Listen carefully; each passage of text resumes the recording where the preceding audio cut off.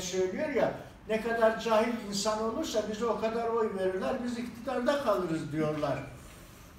İşte bunu yapmak için de rollerini analara biçtiler. Önce anaları günahkar kabul edip anaların saçına, yüzüne, kocasına, tırnağına e, şey biçtiler kendilerine göre. İşte kadın bu olacak şeklinde baktılar. Ondan da e, işte dünyaya getireceği çocuktan beklediklerini elde etmeye kalktılar. Çünkü insan yetişmenin tarzının içinde şu var. e, Üç ay sonra beynin gelişmesinde ana düşüncesinin akışında bir oluşum geliyor. Dünyaya gelen çocuk 3 yaşına kadar kişilik, 7 yaşına kadar karakter kavramlarını kazanıyor. Eğer o aile içerisinde iyi bir eğitim verilmemişse o çocuğun yüzde elli adam olma şansı yok. Yani 7 yaşına kadar bir çocuğun yüzde elli adam olma şansı var. Bunu yakalayamadığın anda olay maalesef eee, sonucu verimsiz oluyor. Okullarda yüzde yirmi, yani yüzde yetmiş, yüzde yüz ülkemizde maalesef içim acıyor. Ee, Adam e, olma, yani yetişmiş, bilgili, kültürlü, her şeyi bilen insanı elde etme şansını yakalayamadı. İşte Mustafa Kemal şurada şunu görüyor. Milli Eğitim Bakanı Şevket Arıkan'ı çağırıyor. Diyor ki siz en kısa zamanda köylerde, şehirlerde, köylerde eğitim öğretim sorununu çözeceksiniz diyor.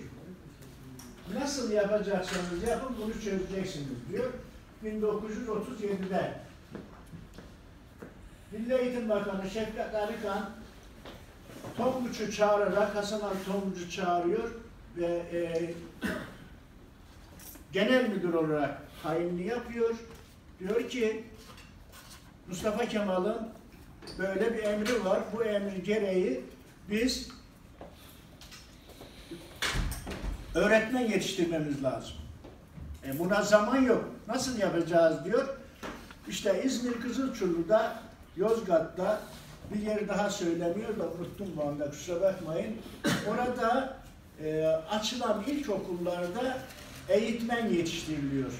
Bu eğitmenlerde askerde okuma yazmayı öğrenen veya çavuş olan insanlar al yetiştiriliyor ve köylere gönderiliyor. Tabii 1938'de de Mustafa Kemal'in ömrü yetmiyor. Ölümüyle birlikte İsmet İnönü Cumhurbaşkanı oluyor. Ve İsmet İnönü Cumhurbaşkanı olmasıyla birlikte e, Şevket Arıkan görevden alınıyor. Onun yerine Milli Eğitim Bakanlığı'na Hasan Ali Yücel getiriliyor. Ve İsmail Hakkı Tonguç da yine genel müdürlükte görevinde kalıyor. Hasan Ali Yücel ile İsmail Hakkı Tonguç'un bir araya gelerek yeni bir program hazırlama durumuna gidiyorlar. İşte işin püf noktası aslında burada. Yani eğer o program Türkiye'nin e, uygulamasında günümüze kadar gelmiş olsaydı e, şöyle bir tablo ortaya çıkacaktı. Türkiye bu anda Avrupa'nın bir numarasında olacaktı. Neydi bu?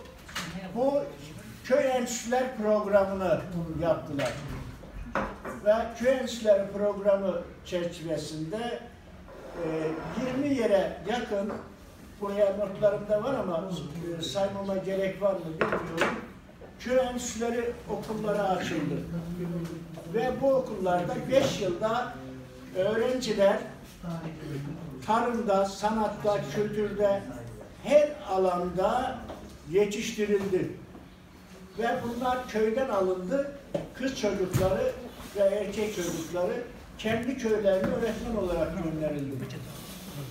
Çünkü topluma yabancı kalmadılar, kalmıyorlardı. Halkıyla birleşerek onlara yerinde çiftçiye ziraatı öğretiyorlardı. Demirciye, demirciliği, marangozcu yani, yani derler ya e, on parmağında on marifet. Köy enstitülerinden öğretmen o şekilde yetiştirmişlerdi ve o şekilde gönderiyorlardı. Sonra ne oldu biliyor musunuz? E tabi burada emperyalistler boş durmuyor. Bunun başını Amerika, İngiltere çekiyor.